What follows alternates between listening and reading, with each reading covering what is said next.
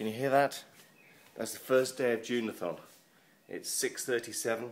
I'm just about to throw uh, a great breakfast together before swimming in the Serpentine. So I thought I'd show you what I'm eating at the moment. So, uh, here it goes. Some Dorset cereals. This is the, the really nutty one in there. Pumpkin seeds. Bit of protein slows down the, the conversion of carbs into energy some blueberries. Whoops. I'm supposed to wash them. I, am not. And a little bit of yogurt. That's the vanilla kind. I'm going to chuck some water on. I prefer it with water. And there you go. Some carbs, some protein, some fruit. Delicious.